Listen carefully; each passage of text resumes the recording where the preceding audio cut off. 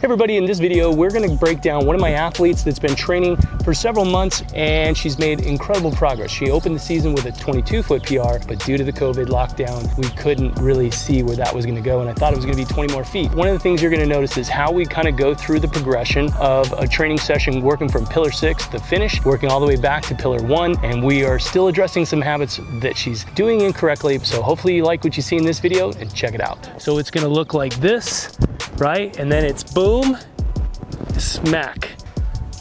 Push, pull, stretch, twist through. That was pretty good. I like that. I like that a lot.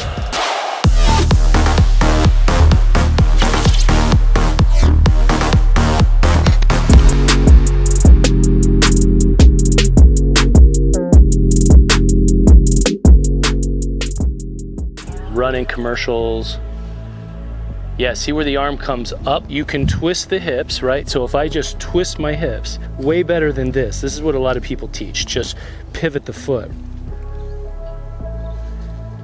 That's closer. So you're not stretching the band.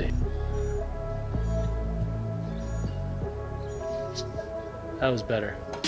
And then crank the hips, yep. That very nice. Heel up, push, crank the hips, more. More, that's it. You feel that? Do that fast. Yes, do it faster. Ooh, that's what that's exactly what we need in your throw. And then over this so I don't have to put the 10 up. That was much better. Look at that. Right? Set our alignment and tension. That's always going to be key. And then we're going to push, pull, heel up, push and twist. You see how I get that slam? Chest is here. I'm going to start static so I can stretch. So it's going to look like this right? And then it's boom, smack.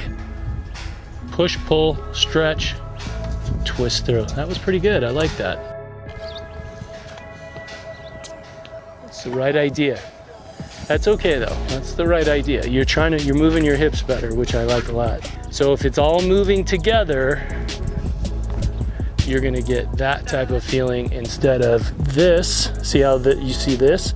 Now it comes out here it comes lower, boom. Position two is setting, stretching, stretching. Yeah, it, because you're setting up the radius. Right. Because from here, you're going to maximize the radius.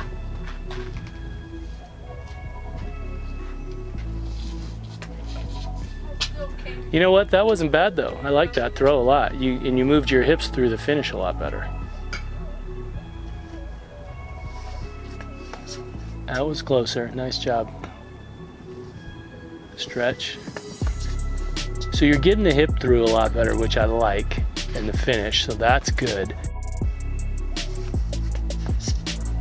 That was actually pretty good. You just got your thumb up on that. I like your hip action a lot more.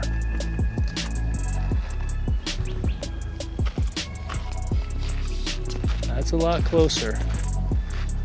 That was good. You're starting to get your hip through a lot better. That was very good today.